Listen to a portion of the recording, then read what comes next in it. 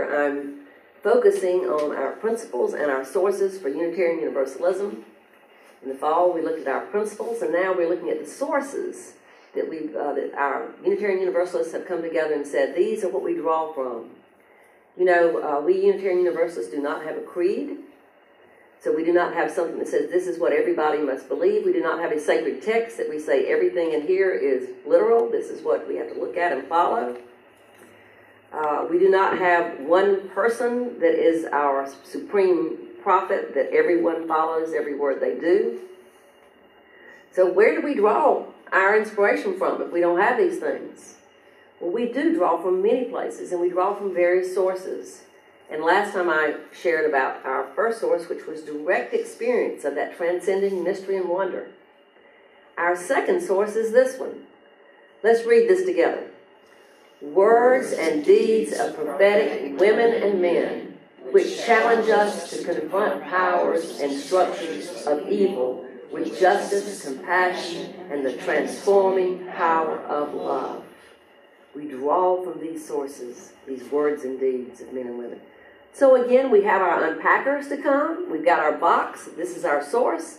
We're going to unpack it and look at some of these words and think what this may have meant to those who put this forth as a source and what they may mean for us. And the first thing they're unpacking, the first part of this, is words and deeds of prophetic women and men. Um, as we look at this, one of the words that is confusing with a lot of folks is prophetic. What do we mean by prophetic? Sometimes when we think of prophecy, we think of um, the oracle or the uh, the you walk in and somebody has a crystal ball or these folks are saying gloom and doom, here's what's going to happen to the world, these are the prophets. But that is not what our ancestry meant when they wrote these words about prophecy and prophetic women and men. Here's the word prophetic, and the person that I think about when I try to explain prophetic or prophecy is James Luther Adams. Now, James Luther Adams uh, wrote a piece called The Prophethood of All Believers. I grew up Southern Baptist, and maybe some of you did, and or were parts of other groups that may have emphasized the priesthood of all believers. But he's talking about the prophethood of all believers. James Luther Adams was a theologian, Unitarian Universalist theologian, uh, that actually taught before I was there at Meadville Lombard.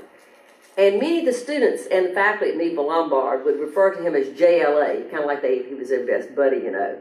And it was almost like he was still around. Somebody would say something in the class and they'd say, Don't let JLA hear you saying that, you know. So he was somebody we lifted up and revered. Let me share with you what he says about our prophets. According to JLA, the prophet views human life from a piercing perspective and brings an imperative sense of the perennial and inescapable struggle of good against evil, of justice against injustice. And he says that a prophet shakes us out of our pride mm, and calls for a change of heart and mind and action. With fear and trembling, the prophet announces crisis and demands ethical decisions here and now. Not in some future thing, but we're talking about here he talks about the prophethood of all believers, but he also talks about how the church itself, the liberal religious church, and he's speaking specifically himself to the Unitarian Universalist churches, and he says that the, the church, the Unitarian Universalist congregation, should be the prophetic liberal church. What is that? Will you read this with me? The prophetic liberal church is the church in which all members share the common responsibility to attempt to foresee the consequences of human behavior, both individual and institutional, with the intention of making history in place of merely being pushed around by it. Love those words. That we're going to make history instead of just being pushed around by it. We have that opportunity through our own words and deeds, and not just the words and deeds of someone who has a title, minister, but of everyone, the prophethood of everyone in the congregation. Let's take the first part about that using your words. A very famous prophet was the prophet Isaiah. He said that God told him to go up on a bare hill, raise a signal, cry aloud to them, and wave your arms. You know, be a prophet, use your words. And indeed, that's what he did. He used his words. And we have many folks that we lift up for using their words to share with us, to call us out, to, to tell us truth, truth tellers. The closest thing we have as Unitarian Universalists to a sacred text, I suppose, is the, are the readings in the back of our hymnal. I don't know if you spent much time looking at those readings in the back of the hymnal, but they are wonderful. We had a hymnal selection committee that worked very hard in selecting a group of readings that we could use in our worship services, and of course we use others as well, but that we could use and lift up. And the, what they did in the back of the hymnal, if you look at it, they divided these up according to the six sources. So there's one part that's direct experience, and there's one part, as you see here, of words and deeds of prophetic women and men. What we don't have time to share all these. You can look at them later, but I do want to lift up some just to give you a little bit of a experience of the kinds of things we've lifted up as Unitarian Universalists. Here's some of the words and some of the folks. Dorothy Day. Now, she was a social activist that actually helped found the Catholic worker movement. She says, A pebble cast into a pond causes ripples that spread in all directions. Each one of our thoughts, words, and deeds is like that. No one has a right to sit down and feel hopeless. We need to hear that, don't we? There's too much work to be done. Very famous one here, Margaret Mead. Never doubt that a small group of thoughtful, committed citizens can change the world. Indeed, it's the only thing that ha- ever has. Anthropologist Margaret Mead. Now, I have a little chalice by some of these because some of these folks are our own Unitarians or Universalists or Unitarian Universalists. This is Ralph, Ralph Waldo Emerson. We actually talked about him last time I was here as a transcendentalist. He was also a Unitarian minister. He said, A person will worship something. Have no doubt about that. That which dominates our imaginations and thoughts will determine our lives and character. Therefore, it behooves us to be careful what we worship. For what we are worshiping, we are becoming. Margaret Fuller, another transcendentalist, another Unitarian. We would have every path laid open to woman as freely as to man. Were this done, we believe a divine energy would pervade nature to a degree unknown in the history of former ages. A new manifestation is at hand. A new hour is come. Margaret Fuller, a woman of words. We all lift up Gandhi's words often when we think about nonviolence. He said, Nonviolence is not a garment to put on and off at will. Its seat is in the heart, and it must be an inseparable part of our being. Frederick Douglass is another prophet we lift up. He said, Power concedes nothing without a demand. It never did, and it never will. The limits are prescribed by the endurance of those whom they oppress. And then, of course, Martin Luther King Jr. We read this often in here. We are caught in an inescapable network of mutuality, tied in a single garment of destiny.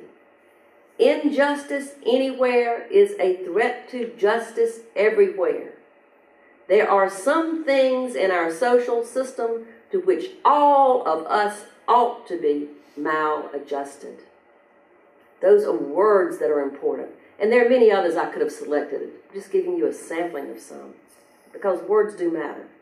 Words do matter.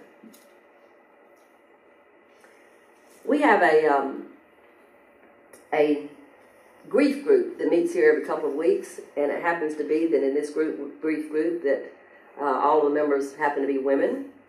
We are journaling and we are sharing with our words various things about our grief and about our experiences. This last time we met, we were going around doing just that with folks sharing. And then we got to one person. We shared for about, people share for about five minutes, uninterrupted. We got to one person, she said, instead of my speaking, I think I'd like for us to just have a couple of minutes to be together in silence. And that's what we did. And it was so timely at that point that we do that together. And it really made me think about this. We're always in telling, telling people to tell it out. Use your words. So important. But sometimes what is important is saying nothing. Saying nothing. Doing nothing. Maybe just giving a hug. Just a smile. Your deeds, even silent deeds, are so important. It's a part of our prophetic prophecy. So let's think about that. Some prophets of deeds, including many you use, by the way. Now, Greg and I just brainstormed who these folks might be. There's so many prophets of deeds that we could lift up. But we were sitting around and we said, who are some of them? And we just made a list of a few of them. So I want to share with you what kind of folks I'm talking about. Because we're talking about prophets of deeds. This doesn't mean these folks did not write or did not use their words. Many of them did write and did use words. But when we think about these kinds of people, we think about them out there doing the stuff, organizing groups, uh, helping people, nursing people, doing the stuff. So here are some examples.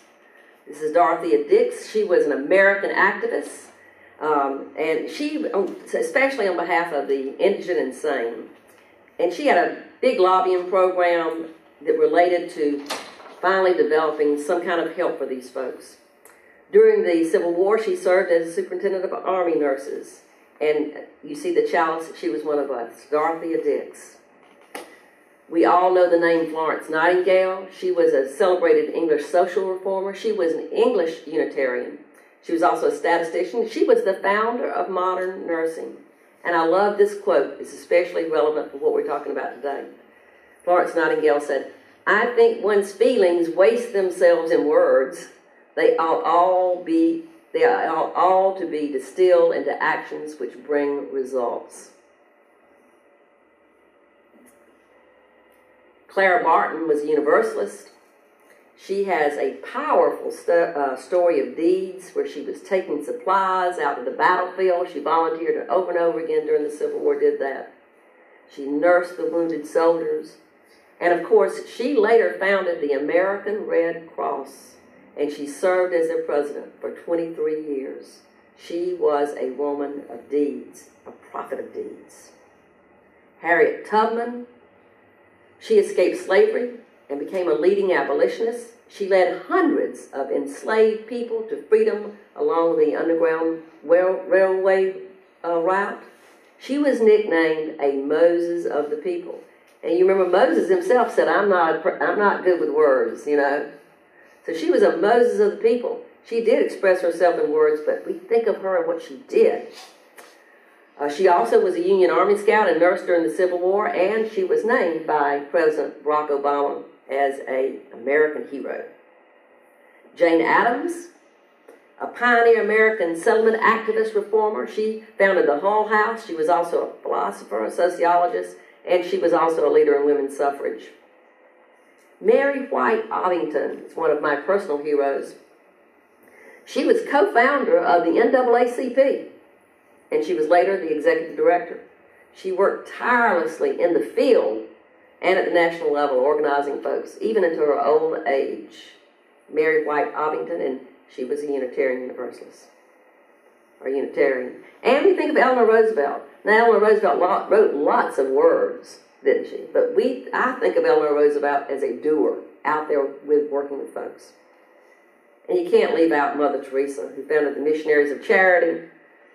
She devoted her life to the poorest of the poor, working with them. I didn't know about this person. Greg lifted this person's name up.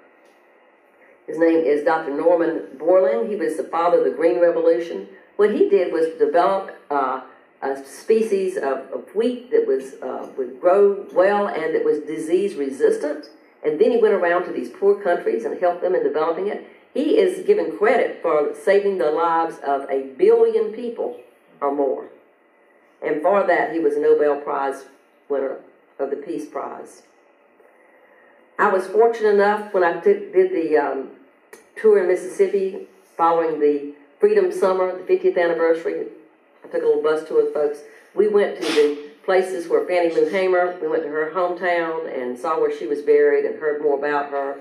She was certainly a woman that spoke her words, but what I did not know was what all the work on the ground she did of organizing people, getting them to register as, to vote. She was a doer. And Whitney Young, he was one of us, Unitarian Universalist. He was the director of the National Urban League, and he transformed that organization from a kind of passive organization to one that was very uh, passionate and active for civil rights. Cesar Chavez, we know that this was the American, Mexican American farm worker, labor leader, civil rights activist.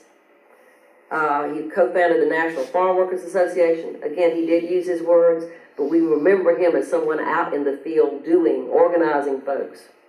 So these are doers of the word. We used to sing about that at the Baptist church when I was a junior. Be ye doers of the word, not hearers only, but doers of the word. They're people that are prophets of deeds.